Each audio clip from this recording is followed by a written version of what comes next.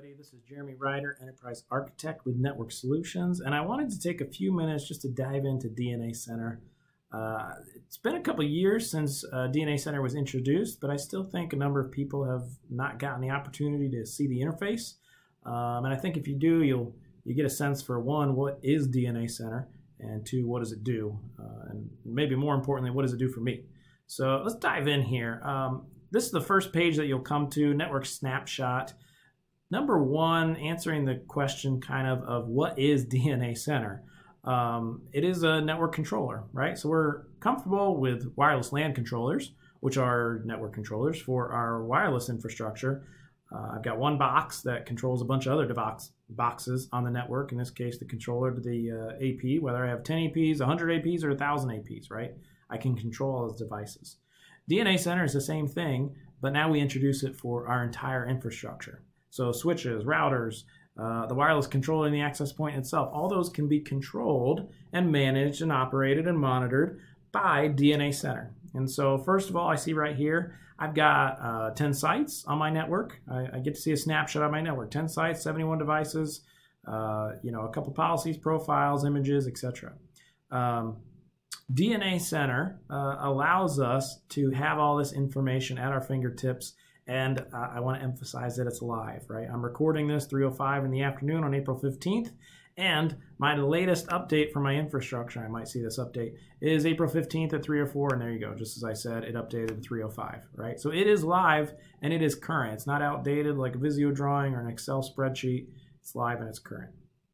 Now, one of the benefits that we get from a controller is uh, the the ability to really start from a high level view and design my network, right? Real simply, I can start with, well, where is this going? What locations uh, uh, compromise my um, my entire network infrastructure? And so I can start there, and there's more DNS, DHCP, AAA, NTP, all this kind of stuff we can we can state as part of our design for our network. Well, then I jump into policy. More and more, I've got to build my network out from a policy perspective, right? It's not enough just to throw a couple switches in and connect the wires together. I've got to really envision what are my security policies? What are my performance policies, my application policies that are tied to those?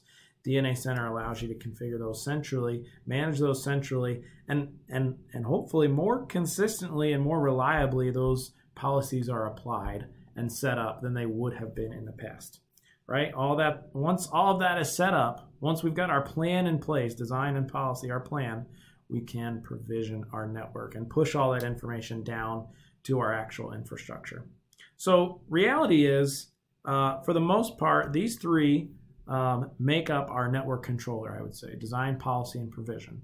And more than likely, if you're going to go through those steps, you're going to have network solutions in to uh, kind of help guide you through those and make sure this gets set up correctly.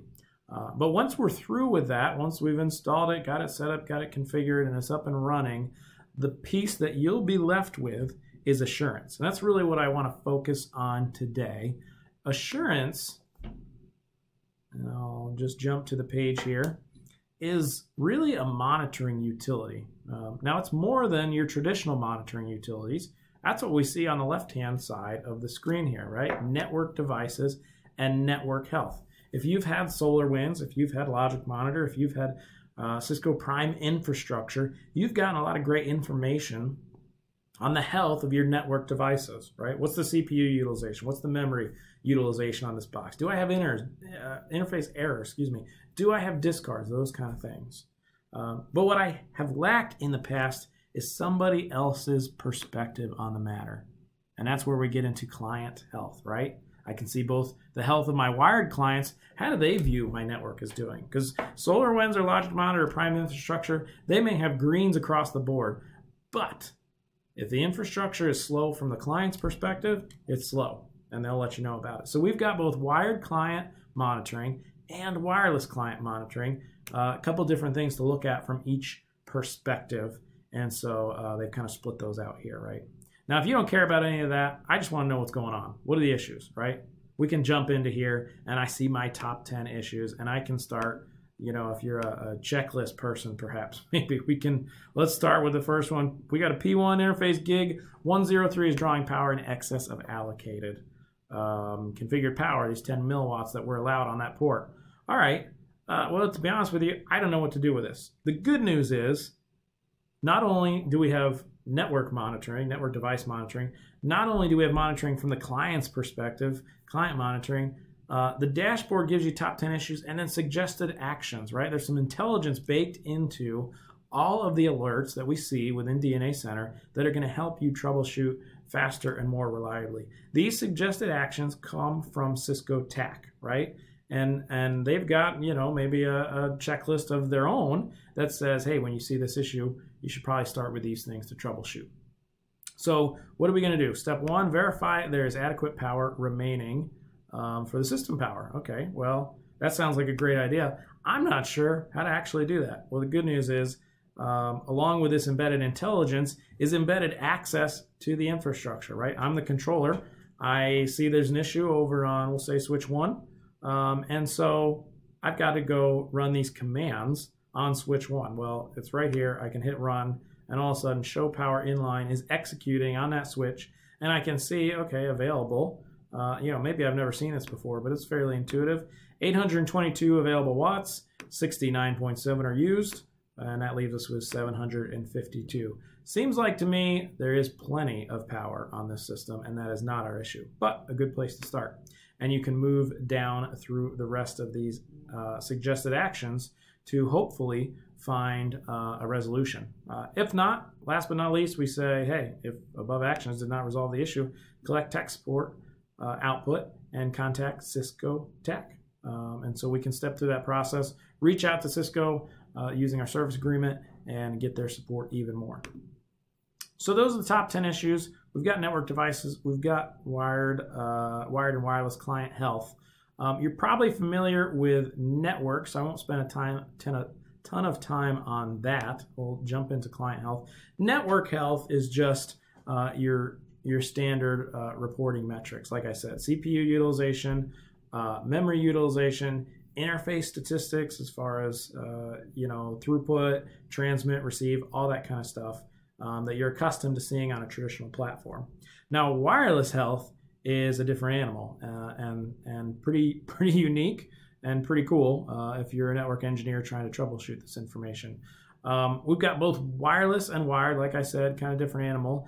Uh, one of the major things that we see is just this whole onboarding process, right? Uh, that is involved with uh, wireless clients. So, uh, first of all, it says we've got 249 active clients, 234 were onboarded successfully, 15 did not onboard.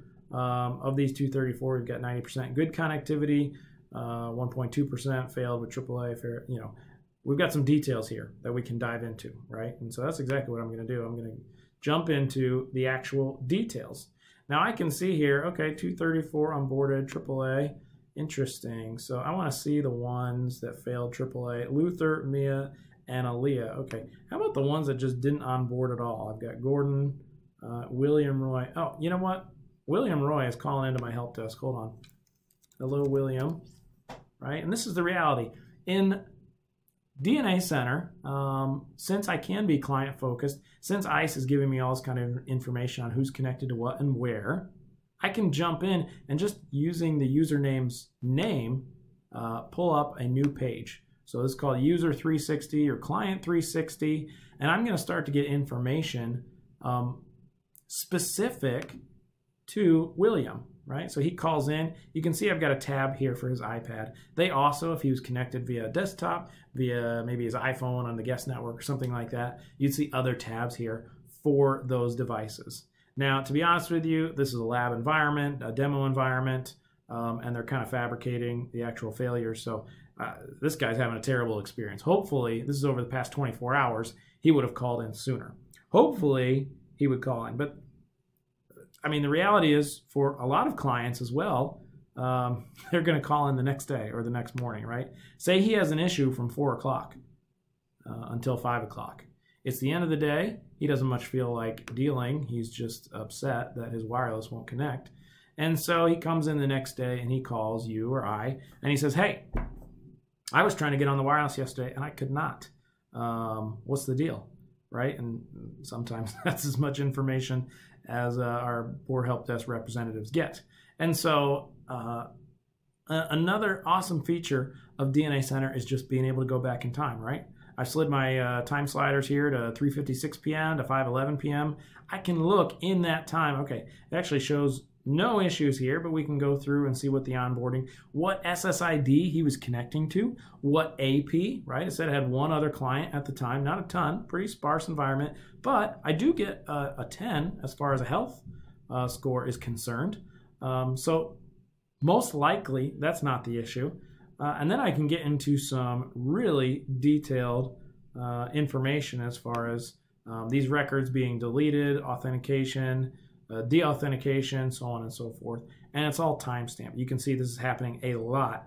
Uh, he's clearly having an authentication issue, right? Um, where it, it begins and then we just have to delete it with a Zeep client.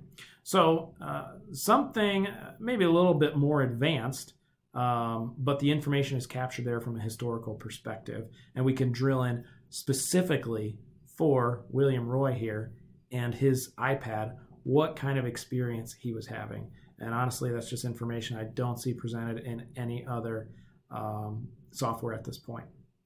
So that is client health, network health, and application health. This one is in beta, so I kind of offer it with a caveat. But that's another beauty of um, DNA Center, right? It is a software platform, software defined networking almost that Cisco is offering here, right?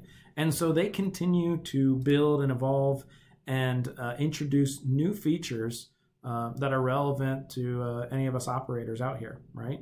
So, what application health basically does is say, you know, from a performance perspective, users are pretty important, but um, almost, almost what triumph, trumps that, I should say, is the health of the application, right? So, with all this visibility that I have into my infrastructure and the packets that are passing forth, and I can timestamp stuff and see latencies and, and utilization, all that kind of stuff, can I have some information on how my critical applications are doing?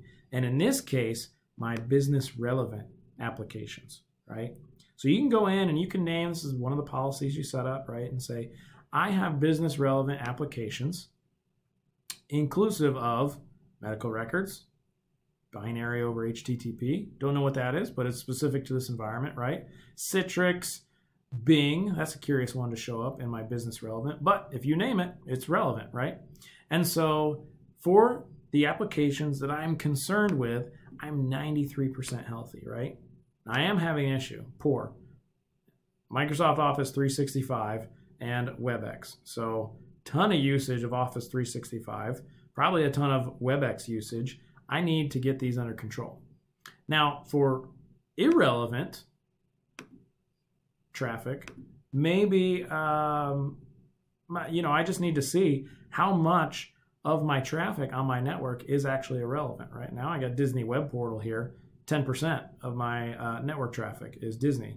Um, so we can decrement that from a priority perspective, uh, but we're still giving you information on where uh, and how much of this traffic is being utilized. If I got the bandwidth, I'll offer my users YouTube. If I don't have the bandwidth, though, that needs to get squashed, right? Same with, in this case, Skype. Maybe Skype needs to be one of your business relevant applications. We can accommodate that. So, a ton of great information. I know that's a quick overview of what DNA Center is.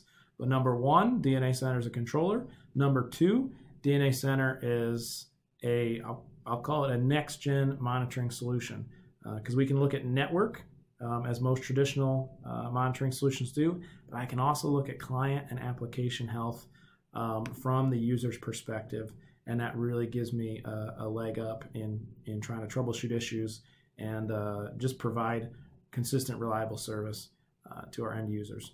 Hopefully, this was helpful, uh, and hopefully. Um, you found it a good use of your time. If you have any questions regarding DNA Center, feel free to reach out and uh, we'll, we'll set up a direct meeting here. So have a great day.